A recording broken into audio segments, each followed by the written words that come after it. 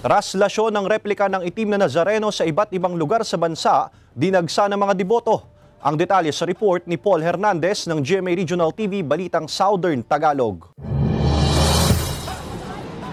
Wala man ang nakagawi ang traslasyon sa pagdiriwang ng kapistahan ng itim na Nazareno, naging mahaba pa rin ang pila ng mga deboto para makalapit sa imahe ng poon sa Quirino Grandstand sa Maynila kahapon. Humigit kumulang tatlong daang metro rin ang kailangang lakarin ng mga deboto bago makalapit sa lugar kung saan naroon ang replika ng poong itim na Nazareno.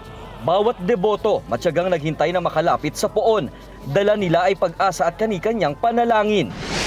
Sa Lawag City, Ilocos Norte, nagtipon-tipon ang mga pari na kabilang sa kongregasyon ng Romano Katoliko sa isang misa sa St. William Cathedral sa Lawag City, kasabay ng selebrasyon ng kapistahan ng itim na Nazareno. Dagsari ng mga deboto ng poong Nazareno. taus-puso at taimtim kang magdasal sa Kanya. At siya lang lagi ang iniisip mo. Ibigay niya lahat ang gusto mo na pagbabago. Ang ilang hindi nakapunta sa Quiapo para sa traslasyon sa Senyor Divino Tesoro Shrine sa Kalasyaw, Pangasinan nag-alay ng dasal. Samantala, panata na ng pamilya Quijano Trevino na buksan sa publiko ang pagmamayari nilang poong itim na Nazareno na kilala ring senyor sa bahay na ito sa poblasyon San Juan, Batangas. Grupo man o mag-isang dumarating, may bitbit na hiling at panalangin. Nung ako'y maestro, sa pananampalataya ko sa kanya, pakiramdam ko parang bumilis yung ah, recovery ko sir eh. Napuno naman ang mga deboto ang kapilang ito sa barangay Buhay na Sapa sa pagdiriwang ng kapistahan ng traslasyon ng Poong Nazareno. Nakadisplay rin sa loob ng Poong Jesus Nazareno Chapel ang antigong imahe ng sinasabing mapaghimalang Black Nazarene. Taong 1950, iniregalo ng pamilya De Villa ang imahen para sa mga mananampalataya sa Buhay na Sapa. Pasado alas 6 naman kagabi ng simula ng prosesyon ng itim na Nazareno mula Plaza Quezon pabalik sa Holy Cross Parish sa Barangay Tabuco, Naga City, Camarines Sur. Nagtagal ang prosesyon ng halos dalawang oras bago ito nakarating sa simbahan kung saan isang banal na misa rin ang isinagawa. Ayon sa CDRRMO Naga, aabot sa humigit kumulang isang daang libong deboto ang nakiisa sa prosesyon.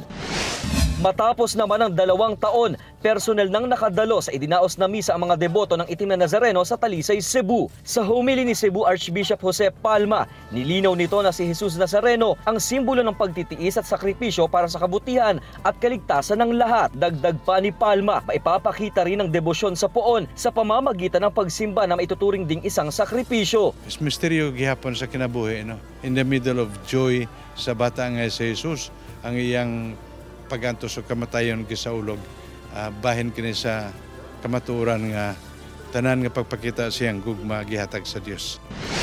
Samantala, sa Garcia Hernandez sa Bohol, naglakad ng tatlong kilometro ang humigit kumulang dalawang libong mga deboto ng Black Nazarene upang marating ang Bohol Calvary at makadalo sa misa na isinagawa sa maliit na chapel sa gitna ng kabundukan. Mahaba rin ang pila sa patunob o ang paglagay ng imahen ng poon sa kahit saang bahagi ng katawan sa paniwalang gagaling sila sa kanilang iniindang karamdaman. Dagsari ng mga deboto ng itim na Nazareno sa St. Augustine Metropolitan Cathedral sa Cagayan de Oro City. Mahigit 2,200 na personnel mula sa kapulisan at mga force multiplier ang idineploy. Ayon sa mga otoridad, mahigit 15,000 mga deboto ang sumali sa traslasyon ngayong taon. Pagkatapos ng misa, inilabas na ang poon at isinakay sa karo para sa traslasyon. Sa Davao City, madaling araw nang inumpisahan ang prosesyon sa imahe ng itim na Nazareno mula sa Black Nazarene Chapel ng Nulan Zona Subdivision, Matina sa lungsod. Maraming deboto rin ang dumalo sa isinagawang misa. Ganit na, before siya nagpasahan sa krus, naas sa reservation na luwas ng kanina. Bit-bit din ng ilang deboto ang kanilang imahe ng itim na Nazareno para mapabasbasan at personal na karanasan sa milagro ng Jesus Nazareno. Ano man ang dalangin o hiling, basta taimtim na naibubulong sa poong Nazareno, tiyak na diringgin. Ito ang paniniwala ng mga deboto na sa kahit anong pagsubok at karamdaman, pananampalataya ang kanilang sandigan. Mula sa GMA Regional TV Balitang Southern Tagalog, Paul Hernandez nagbabalita para sa GMA Integrated News.